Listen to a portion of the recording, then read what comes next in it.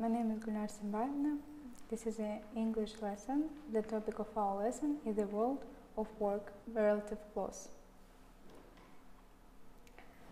I wanted to answer the question, how do you feel today? If you're feeling good, please bend left. If you're feeling not so good, bend right. I think we're ready to start our lesson. I will tell you the description of one picture. You should listen to it carefully and draw everything you hear. Please follow my directions.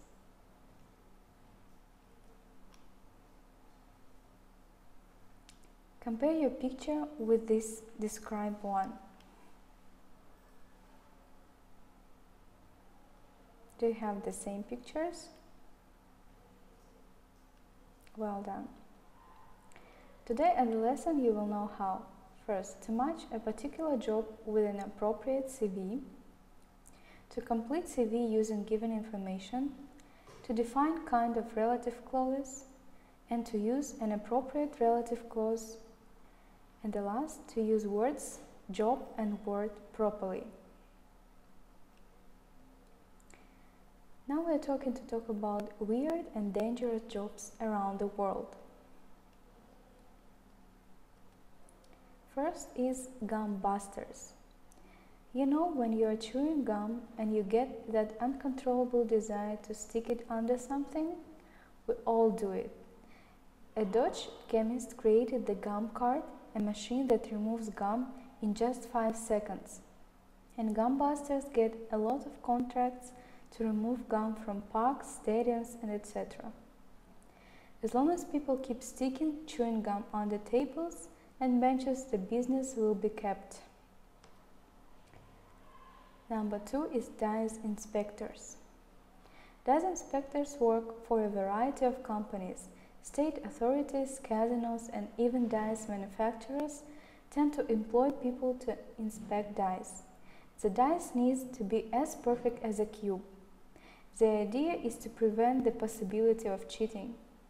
The job requires a great deal of training and precision, inspectors have to prove to be studious people who can be trusted to take the time to learn about this job. Next profession is whistlers.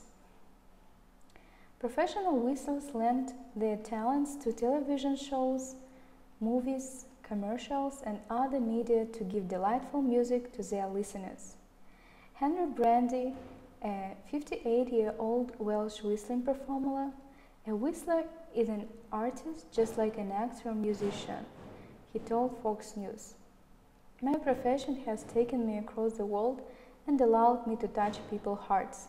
To be a professional whistler, not only do you need the talent, Brady also stresses the importance of self confidence and experience.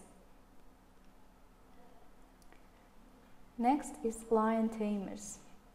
Lion taming is a practice of animal training that involves taming lions for protection or environment, especially in the circus. Other big cats are tamed too, such as leopards, jaguars, cheetahs, and tigers. Lion taming is a very dangerous occupation because of the obvious risk of working with powerful instinctive carnivores. This job exists in zoos all across the world to enable less dangerous feeling and to bring more profit by practicing circus demonstrations.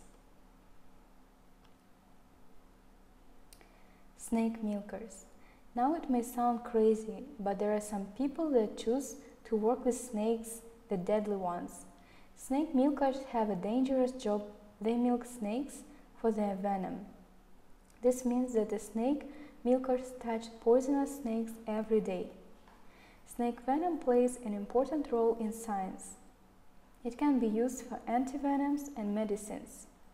Snake milkers are doing something great for the world because the venom they extract can be used to create antivenom. Now I want to discuss with your partner. Which one would you like to apply for? What characteristic do you think you would have to have in order to get that job.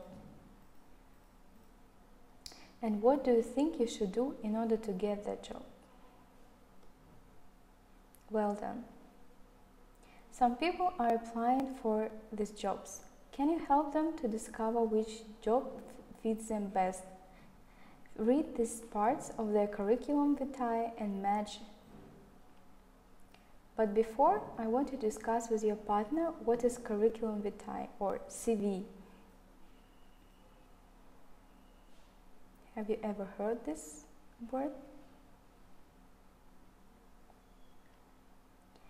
So, CV provides an overview of your person's experience and other qualifications.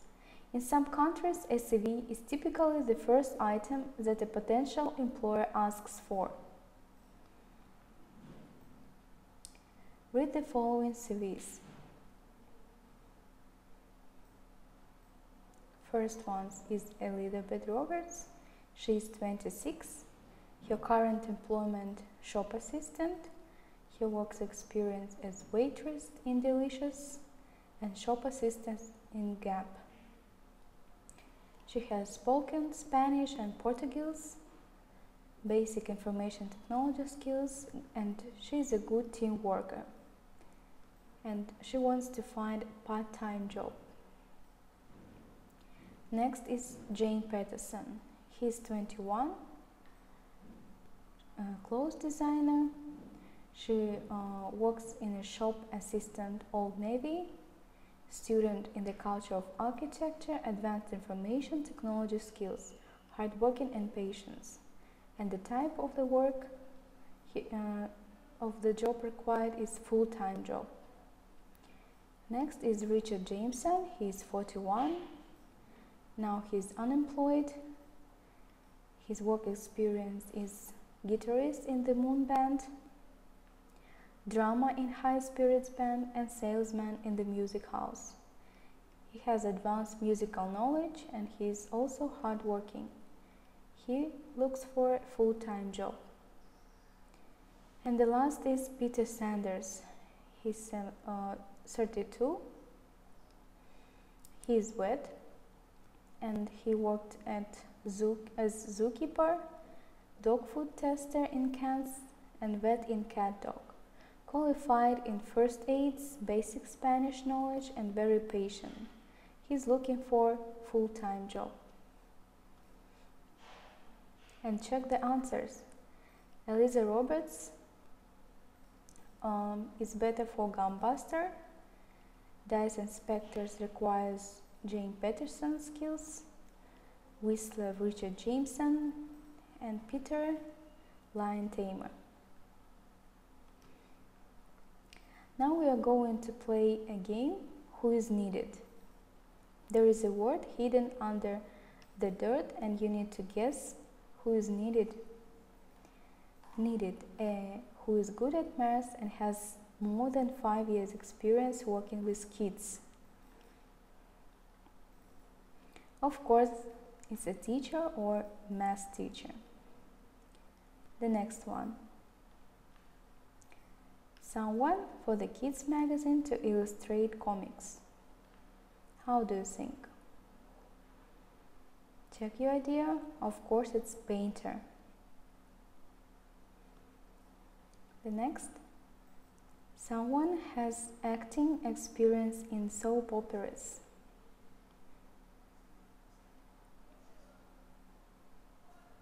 Yes, of course, it's an actor. Someone whose specific field is photos of different things. Yes, that was the easiest one, the photographer. A person who has a year experience in working in any shop. Yes, it's shop assistant. Someone who doesn't who has not less than four year experience in treating animals, especially cats and dogs. It's vet. Now, uh, I want you to complete a CV form. Imagine that you're applying for one of the jobs we've read about and think about qualities you'll need for that Look at the CV form and complete it using the information below. So mm, you can see the CV form and the information you need to use for this form. My name is Dominique Dupont. I live in Cannes at 26th Avenue, Delamere. I'm 23 years old. I was born on the 22nd March 1919. You can send me an email via my website and my mobile phone number is double three seven four five six three double two double one four. I attended high school in Cannes until I passed my baccalaureate, bachelorette in 2008. I've just finished a two-year training course in business management and now I have a diploma in management. My IT skills are excellent and I can speak and write English well. I did a summer job in techno diagnostics in Cannes working with the sales manager Mr. Daniel Blanc. I'm hardworking and get on easily with people. I'm not afraid of responsibility or challenges. So use the information you need for the CV. Okay, let's check your progress. His na her name is her surname is Dupont. Her first name is Dominique. The address is 26 Avenue de la Mer Cannes. Check your phone number and email address. The date of birth is 22nd March 1990. Your qualifications is bachelorette. She has a diploma in management and she worked as sales manager at Techno Diagnostic. Her personal qualities are hardworking, sociable, and responsible.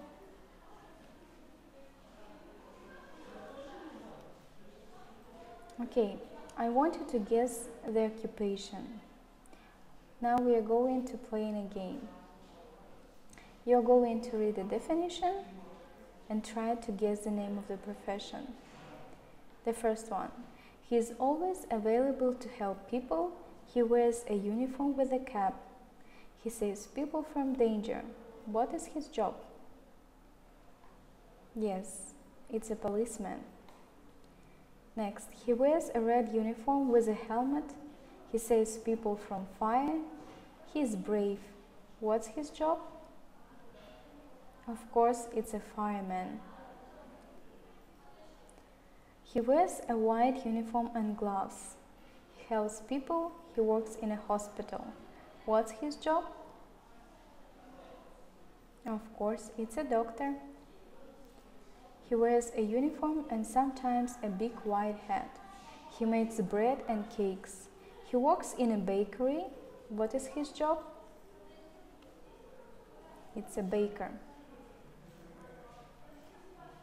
She serves food and drinks, and she works in a restaurant. What is her job? Yes, it's a waitress. And if it's a male, yes, of course, it's waiter. Guess the occupation. A person who serves food in a plane is an.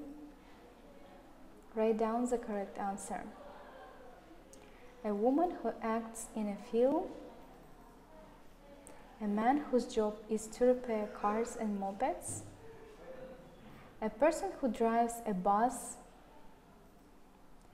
a person whose job is to teach students in a school. And let's check.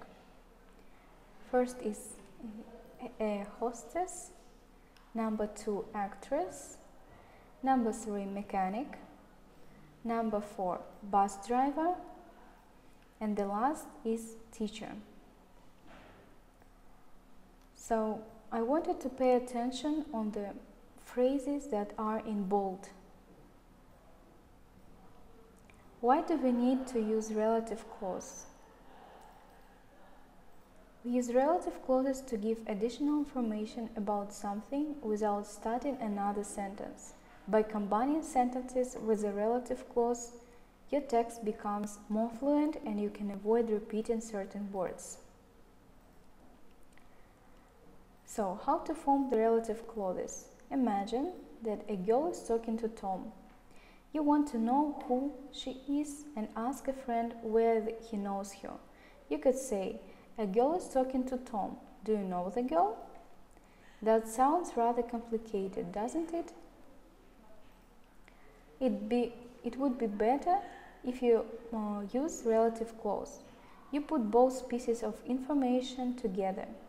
Start with the most important thing. You want to know who the girl is. So, do you know the girl? As your friend cannot know which girl you are talking about, you need to put in the additional information.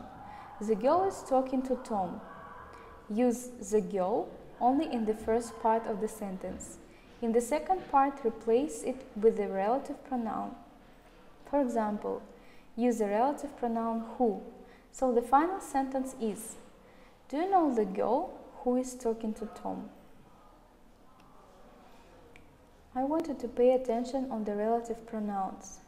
So, first is who. It's subject or object pronoun for people. I told you about the woman who lives next door. Which we use it to refer subject or object pronoun for animals and things. For example, do you see the cat which is lying on the roof? Which also refers to a whole sentence. He couldn't reach, which surprised me. Whose? Possession for people, animals, and things. Do you know the boy whose mother is a nurse? Next, whom?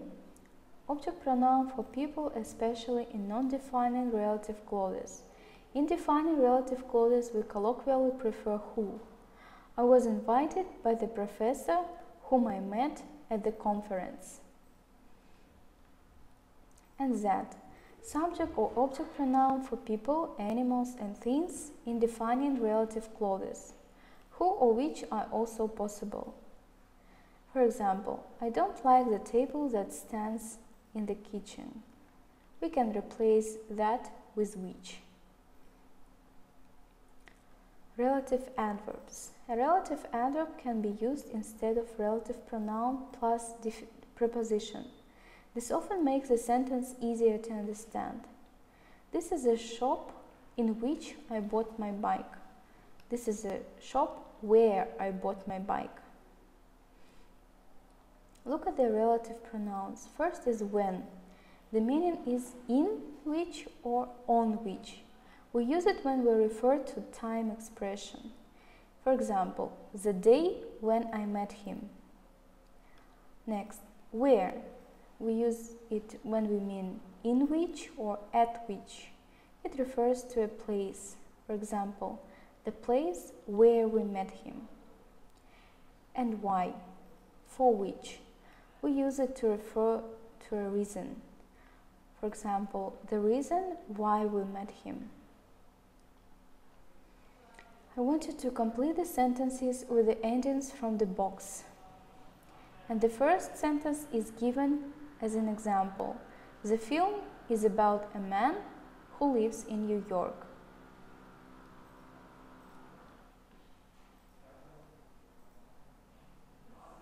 Don't forget to use correct relative pronoun. Let's check your progress. First is was an example. Number two, I can't stand people who are always late. A bilingual dictionary is a book which or that tells you how to say words in another language. 4. A hospital is a place where they try to make people better. 5. Bill Gates is the man who created Microsoft. And 6. A widow is a woman whose husband has died. Subject or object pronoun.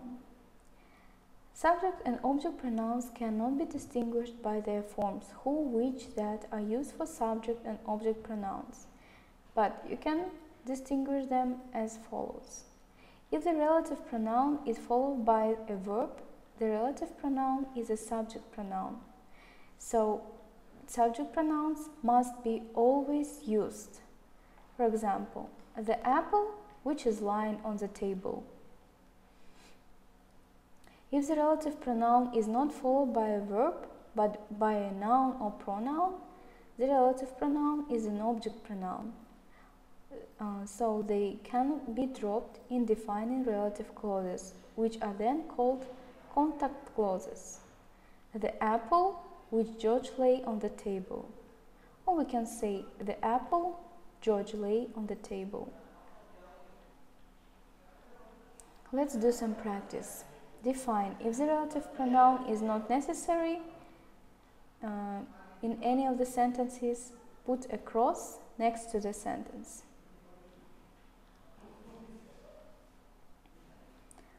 So the first one is given as example.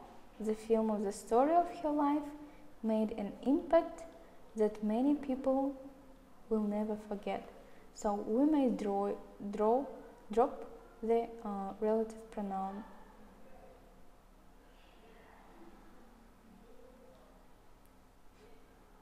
Sentence 2 Diane lived in a heart which had no electricity.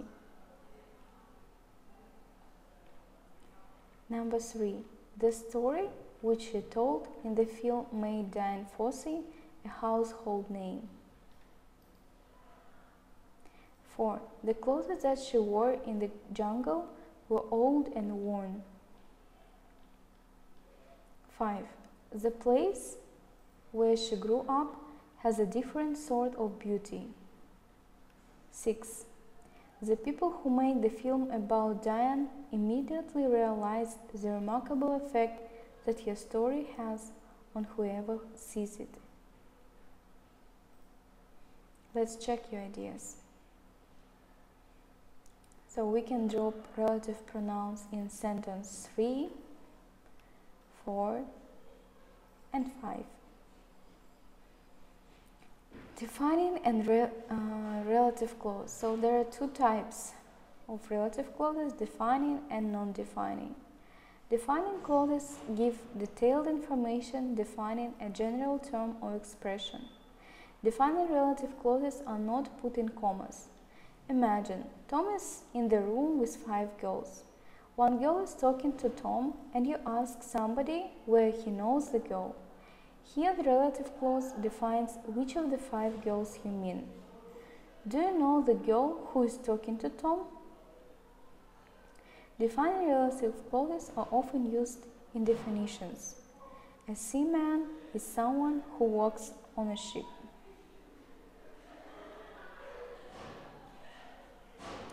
non-defining relative clauses. They um, give additional information on something but do not define it.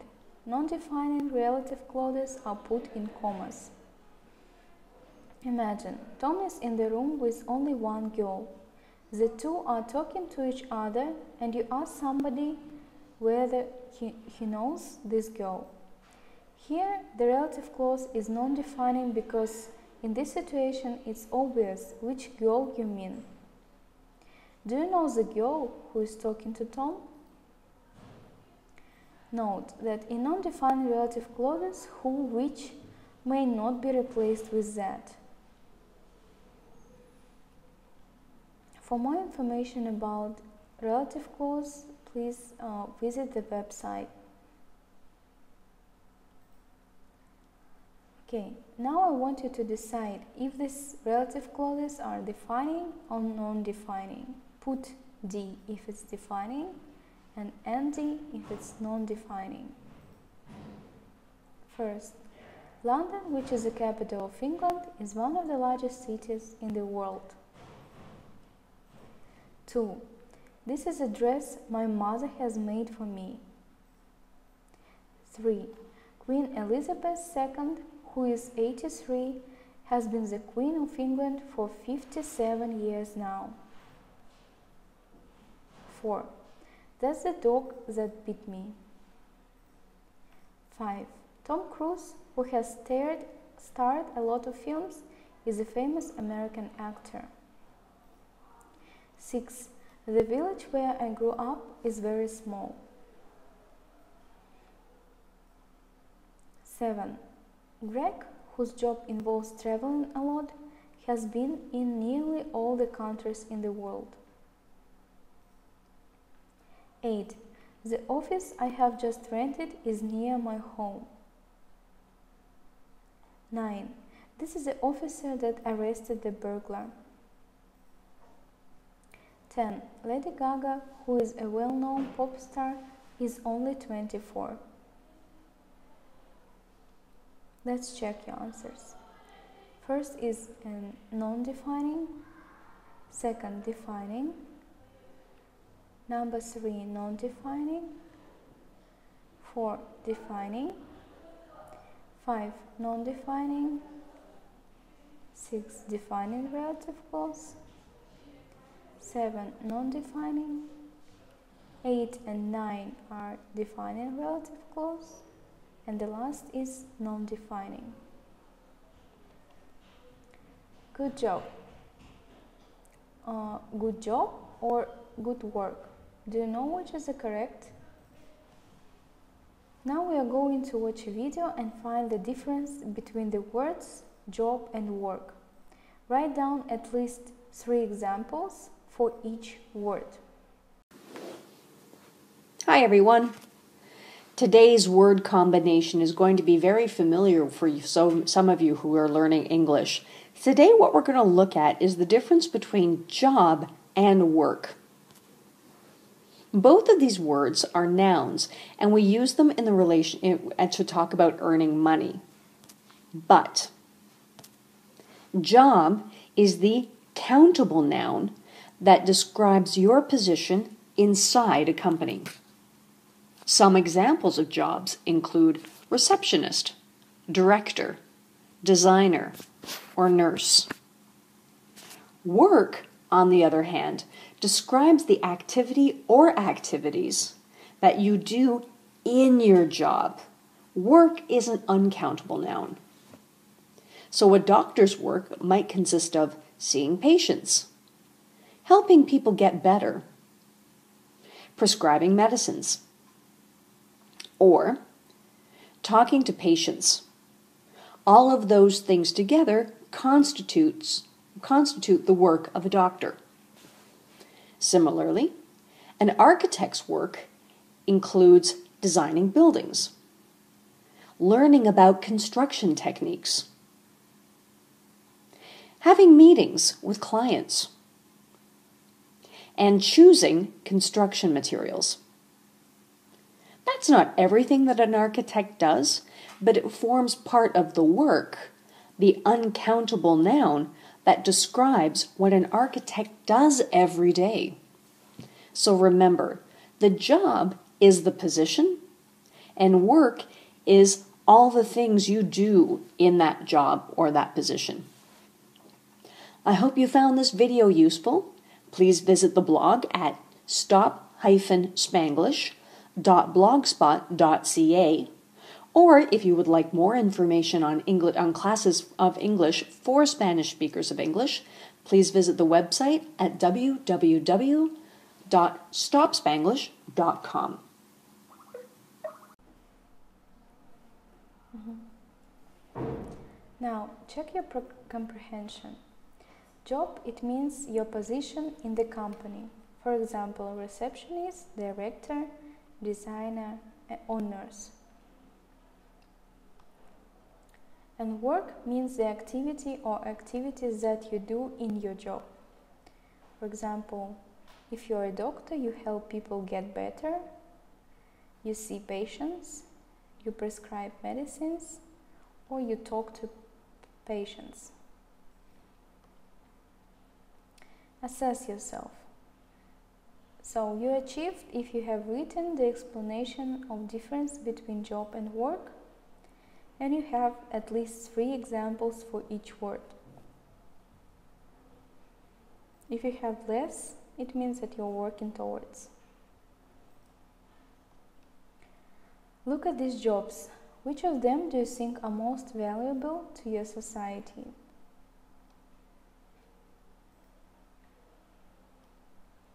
explain why.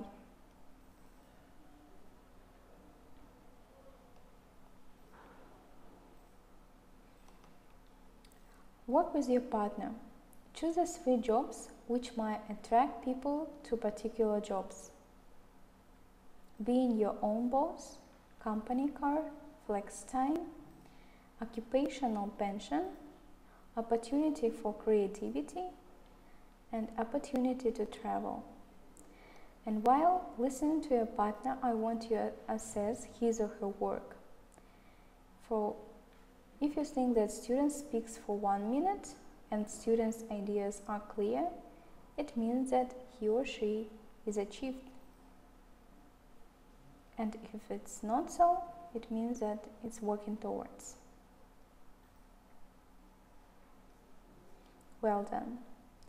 Work with your partner again and add uh, eight more things to the list.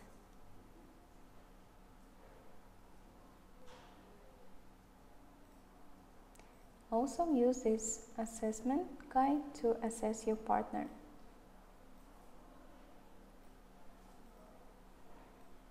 Good job. Now you are going to listen to eight people talking about their jobs. You need to find out the answer for the following questions.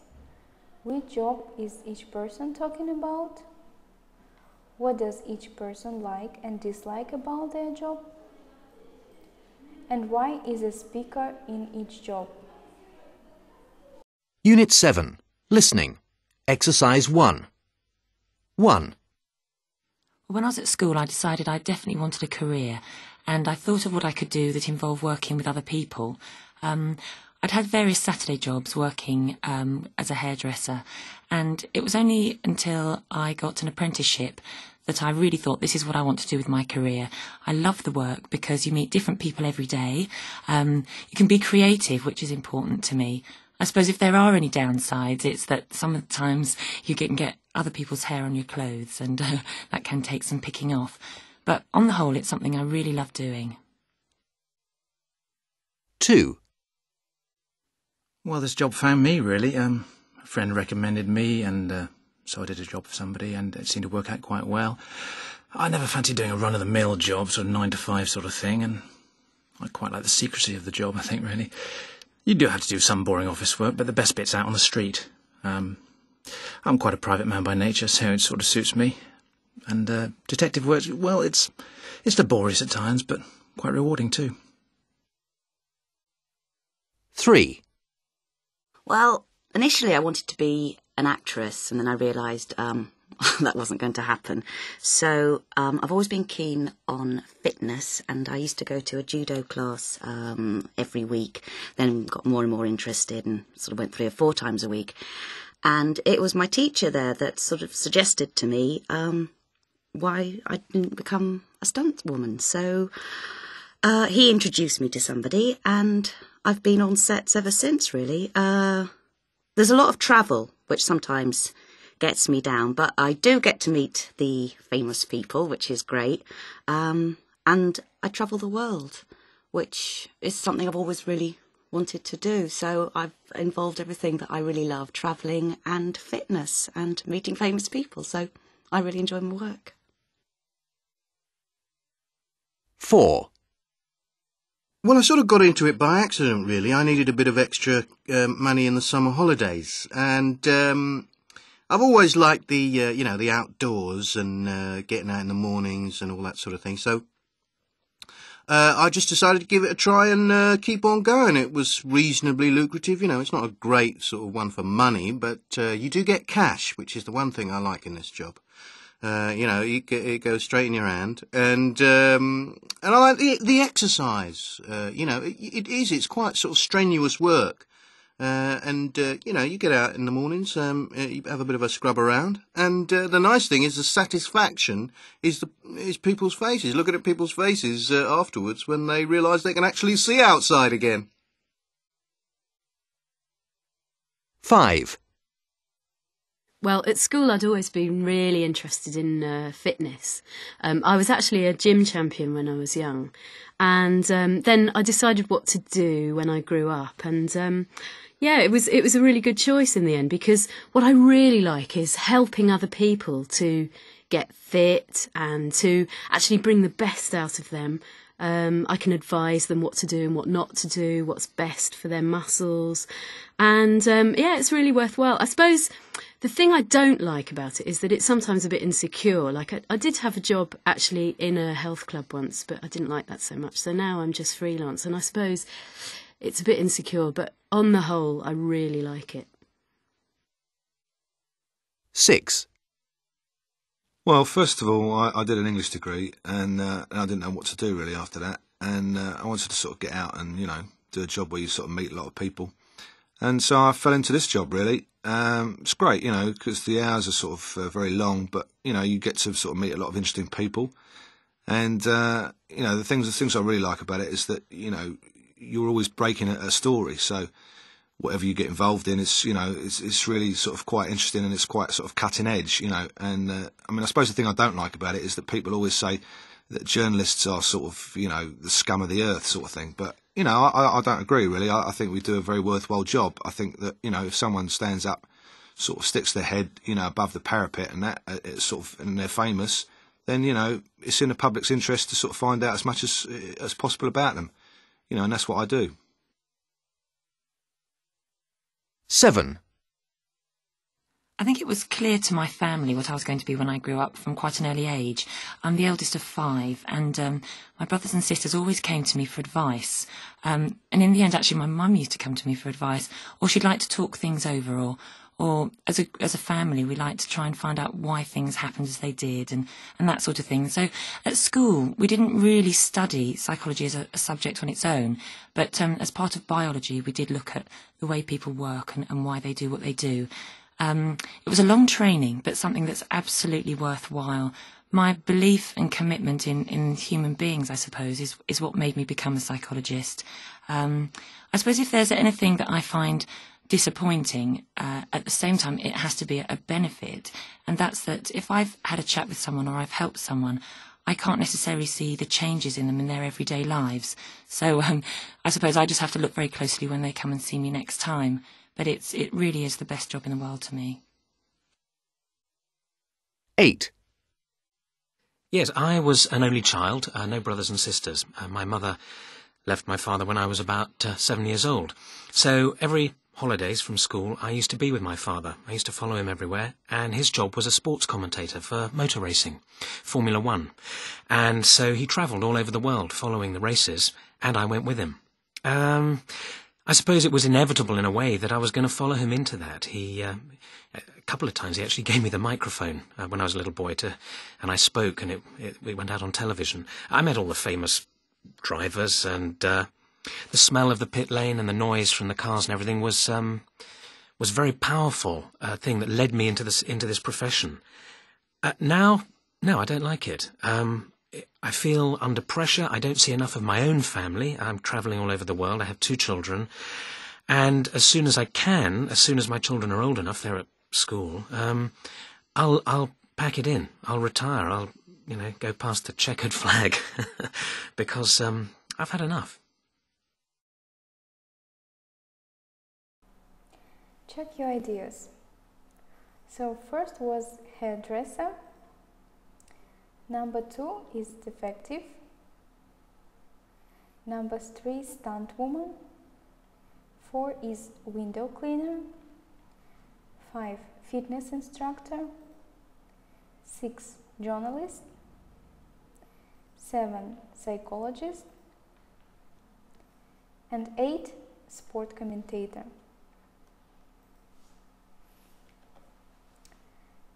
Now uh, I wanted to divide in three groups and discuss which of the eight jobs appeals to you and why. While listening to your partners, I wanted to assess their work.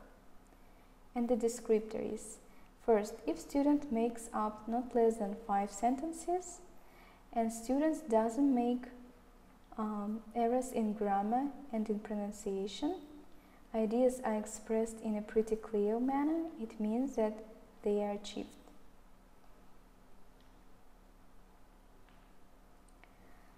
I want you to look at the learning objectives of our lesson back. First was to match a particular job with an appropriate CV. I hope that you know how to do it. Second, to complete CV using given information. Number three, to define kind of relative clause. To use an appropriate relative clause and to use words job and work properly. Please fill in the self-evaluation sheet, answer the questions. What have I understood? What haven't I understood? What have I learned and how do I evaluate my skills, not the knowledge? Your home task is imagine that you're going to a desert island to give there to live there for a year. Think about people of which professions you would choose to take with you and explain why. You can only take five people. List of the literature that helped prepare the lesson. You can find the lesson on the website.